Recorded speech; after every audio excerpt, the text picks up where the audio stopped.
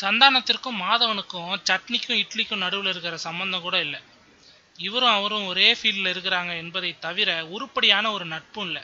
அப்படி இருக்க அந்த கதையை நீங்கள் எடுக்கக்கூடாது என்று சந்தானத்திடம் பாய்ந்தால் அவரும் திருப்பி பாய்வார்ல பல்லாள தேவனுக்கும் பாகுபலிக்கும் இருக்கிற பகையை விட பலே பகையாகிவிட்டது ஒரு ஃபோன் பேச்சு. ஏன் இந்த மோதல் அப்படின்னு கேட்டிங்கன்னா வேற ஒன்றுமே இல்லை. சர்க்குணம் தயாரித்து இயக்கும் படத்தில் மாதவன் நடிக்க இருக்கிறார்ல அது லைஃப் ஆஃப் பை என்ற ஹாலிவுட் படம் சாயில் எடுக்கப்படவிருக்கிறதாம். மாதவனும் ஒரு புலியும் ஒரே இடத்துல சிக்கிக்கொள்ள எப்படி புலியிடமிருந்து மாதவன் மீண்டார் என்பதுதான் அப்படத்தின் முடிச்சு. அதே போல் ஒரு கதையில் நடிக்கப் போகிறார் சந்தானம். அதற்கான கம்ப்யூட்டர் கிராஃபிக்ஸ் வேலைகளை மூன்று மாதங்களுக்கு முன்பே துவங்கி பரபரபரவென நடத்தி கொண்டிருக்கிறார்கள். இந்த விஷயத்தை சற்று தாமதமாக தெரிந்து கொண்ட மேடி சந்தானத்தை தொடர்பு கொண்டாராம். அப்படி ஒரு கதையில் நான் நடிப்பதால் நீங்கள் விலகிக்கணும் என்றார். அதிர்ச்சியான சந்தானம்.